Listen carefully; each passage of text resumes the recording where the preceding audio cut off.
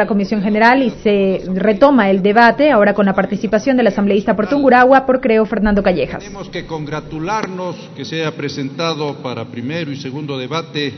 este, esta importante ley, el Código Orgánico de la Salud, porque obviamente se ha hecho un esfuerzo desde hace siete años para ver si podemos ponernos de acuerdo en temas importantes y que están contemplados en este Código de la Salud, como el uso medicinal del cannabis o como la despenalización del aborto en casos excepcionales. Temas trascendentes que efectivamente acá tendremos que tomar una decisión en base a nuestra conciencia como asambleístas y sin ningún otro tipo de, de consideración. Acá no debe pesar ninguna influencia religiosa o política. Aquí tenemos que pensar en el beneficio de la sociedad ecuatoriana. Con este antecedente y reiterando que creemos y estamos conscientes de la importancia de este Código de la Salud, a mí me preocupa un tema, señor presidente, y un tema que está involucrado en algunos artículos de este Código de la Salud que estamos prestos a aprobar y que seguramente algunos asambleístas no le han puesto la importancia que esto tiene. Y me he de referir a que nuevamente en este Código de la Salud, como ya ha sucedido en algunas leyes anteriores, volvemos a dar importancia y prioridad a ese Estado estatista con una planificación centralizada que vemos que no ha funcionado. Y esto obviamente en desmedro del interés que tiene la empresa privada. Seguimos viendo al empresario privado como aquel personaje nefasto que lo único que busca es enriquecimiento y que no ve ningún servicio social en su labor. Y esto no es así. Ya estuvo acá el secretario ejecutivo de las empresas de medicina prepagada, de las empresas de seguros médicos, que nos señaló claramente lo que se cometió en el año 2016 cuando se aprobó una ley en contra de los intereses de esas empresas de salud prepagada porque se pusieron como base una serie de presupuestos equivocados para aprobar esta ley. Estas empresas de seguro médico supuestamente tenían utilidades por alrededor de 300 millones de dólares. Y claro, ¿cómo vamos a permitir que la empresa privada tenga 300 millones de dólares en utilidad? Hay que evitar que esto suceda y nos metieron una disposición transitoria que ahora me ha dicho el señor secretario ejecutivo, porque me ha acercado a saludar con él, que se está pretendiendo corregir acá. Pero ¿qué decía esa disposición general quinta? Que si un ciudadano en el Ecuador tiene una cobertura de salud a través de la red de salud pública, y si también tiene un seguro privado, y eventualmente esa persona decide atenderse en la red de salud pública, luego el prestador privado tenía que pagar el servicio que le ha prestado la red de salud pública, porque obviamente eso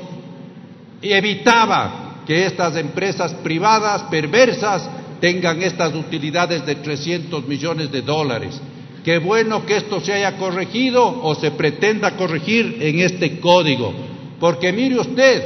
las cosas que aquí se aprueban en la Asamblea Nacional tienen siempre un efecto. La causa, una ley equivocada, el efecto, el perjuicio a los ciudadanos ecuatorianos. Y a mí mismo, en mi caso personal, yo tenía un seguro privado que costaba alrededor de 80 dólares y finalmente la última cuenta que me pasaron alrededor de 150 dólares mensuales,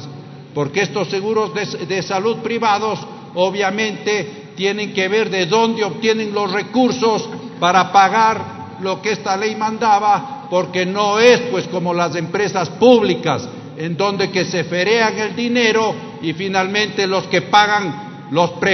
los perjuicios, el despilfarro y la corrupción somos todos los ciudadanos ecuatorianos.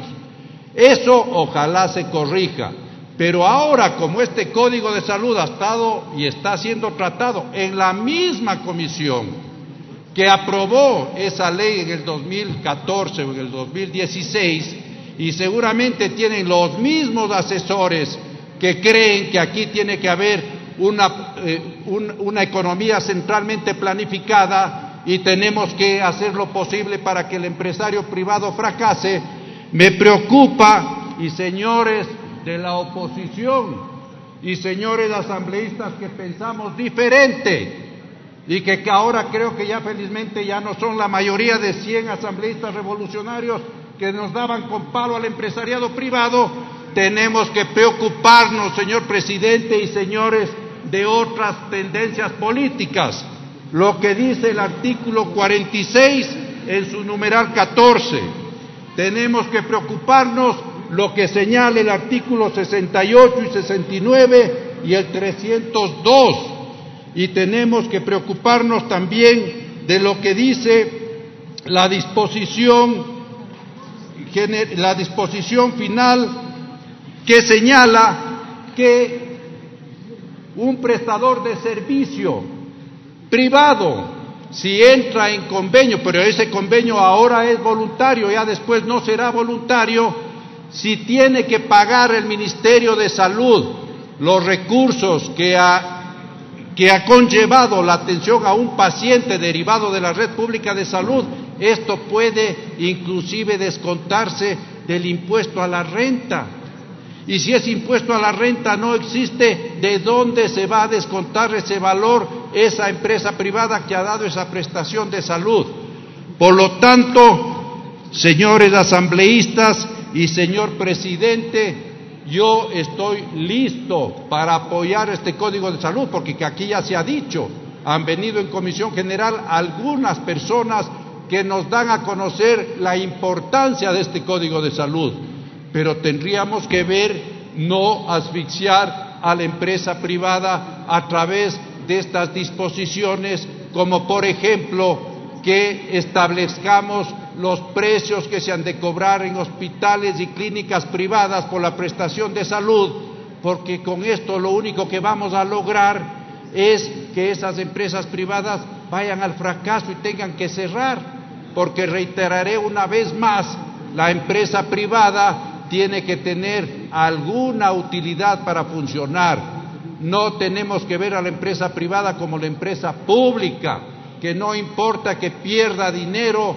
en cantidades astronómicas porque ahí está el presupuesto del Estado, los ciudadanos ecuatorianos para pagar esa ineficiencia. En la empresa privada, si usted pierde dinero, simplemente tiene que cerrar esa empresa privada. Por lo tanto, dejemos a los hospitales y clínicas con regulaciones, sí, que tienen que haber, pero que establezcan los valores que les permitan subsistir no los que un burócrata desde un escritorio define como los valores que deben cobrarse. Y también, ¿por qué esto de la ley esencial de medicamentos? Ahora que entraba a la Asamblea Nacional, me he topado con personas que sufren de enfermedades catastróficas y como aquí los burócratas del Ministerio de Salud, con esa eficiencia que les caracteriza, no han aprobado esta ley este, este, este, listado de medicinas e insumos esenciales desde hace tres años, creo. Y miren, hay pacientes con enfermedades catastróficas que necesitan medicamentos. Yo estoy seguro que todos los asambleístas de acá habremos escuchado o tendremos algún familiar que sufre una enfermedad catastrófica y aquí no se puede conseguir la medicina que ese, eh, ese enfermo, ese paciente necesita y tenemos que irnos a Colombia a comprar esa medicina, porque aquí los burócratas del Ministerio de Salud establecieron una lista y de esa lista no se puede salir. Y aquí veo, me entregó el, señor asambleísta Pachala, que se está poniendo que en casos excepcionales podrá autorizarse la compra de, de medicamentos fuera de esa lista esencial. Ya veo lo que será, pues, esos casos excepcionales Después de cinco o siete años dirán los burócratas, no señor, este caso, no, e, esta enfermedad no amerita un medicamento especial y por lo tanto no se compra. Señores, eh, me, he entrevistado con el distinguido eh, caballero